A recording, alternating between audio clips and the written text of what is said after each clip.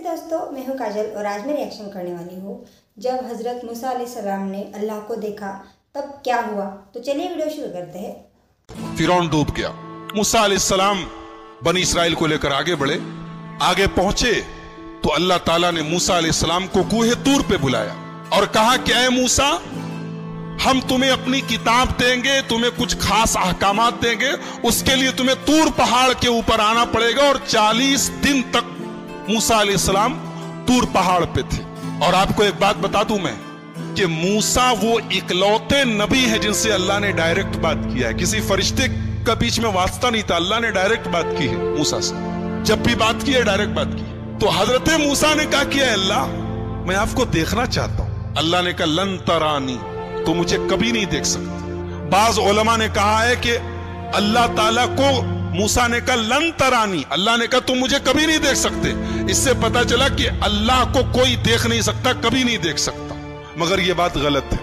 दुनिया की आँख से अल्लाह को कभी नहीं देखा जा सकता। लेकिन आखिरत में लोग अल्लाह का दीदार करेंगे, जन्नती जब जन्नत में जाएँगे तो अल्लाह ताला का दीदार करेंगे। ये कुरान से भी साबित है और हदीस से भी साबित तो दुनिया की आँख से कोई अल्लाह को नहीं देख सकता। हमारे नबी सल्लल्लाहु अलैहि वसल्लम भी जब मेराज पर गए तो सही बात यह है कि आपने अल्लाह को नहीं देखा, आपने अपने रब का दीदार नहीं किया, जैसा कि बुखारी की रिवायत तो अल्लाह ने कहा कि मूसा, एक काम करो, तुम इस पहाड़ को देखो।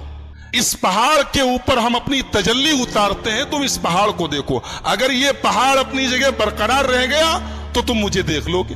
फलम्मा तजल्ला रबली जालहू दक्का। जब अल्लाह ने अपनी तजल्ली उतारी है पहाड़ के ऊपर, पहाड़ रेजा रेजा हो गया। वह खर्र मूसा सही का और मूसा बेहोश होके गिर पड़े।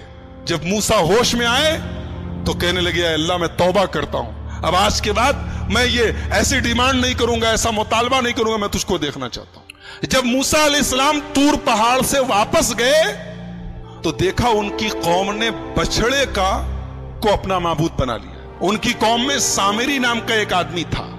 उसने सोने को पिघला करके एक बछड़ा तैयार किया और उस बछड़े के अंदर ऐसा कुछ सिस्टम बना दिया कि जब हवा चलती थी तो बछड़े से आवाज़ निकलती थी। तो बनी इसराइल से कहा उसने कि यही तुम्हारा खुदा है और इसी से मिलने के लिए मूसा गए। तो बनी इसराइल उसके आगे सजदा करने लगे।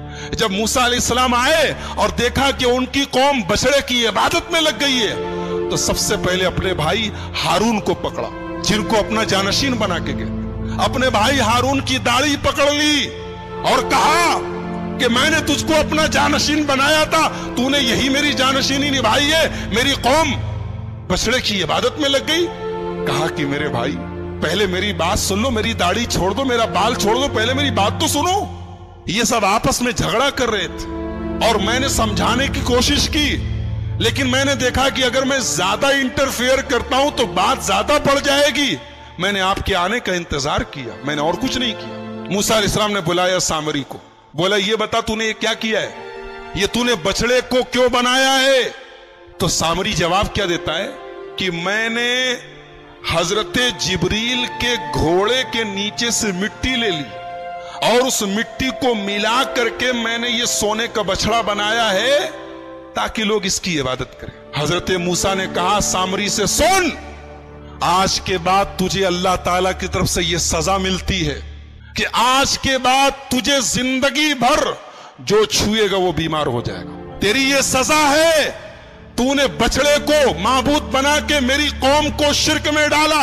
अब तुझे यह सजा मिलती है कि तू ज़िंदगी भर अनटचेबल हो जाएगा। तुझे जो टच करेगा, बीमार पड़ जाएगा। अब सामरी का हाल ये हो गया कि जो उसे छूता था, वो बीमार हो जाता था और वो खुद भी बीमार हो जाता था। लिहाजा जब कोई सामरी के पास से गुजरता था, वो कहता, ला में सांस, ला में सांस, मुझको मत छुओ, मुझको टच मत करो।